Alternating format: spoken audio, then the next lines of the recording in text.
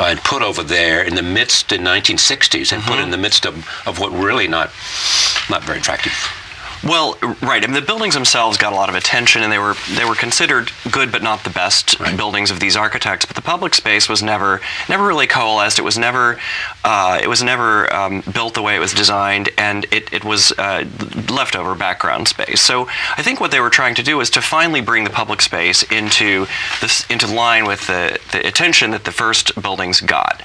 Um, and so there there was a an original competition um, that was won by I think Frank Gehry won that, and in uh, 9/11 happened I think put the whole thing on hold.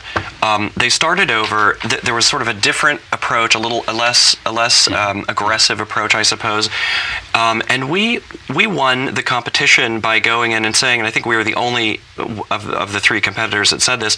We love Lincoln Center. We think it's it's exciting.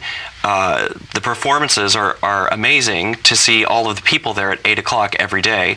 The problem with Lincoln Center is that that You are watching Ozarks Public Television.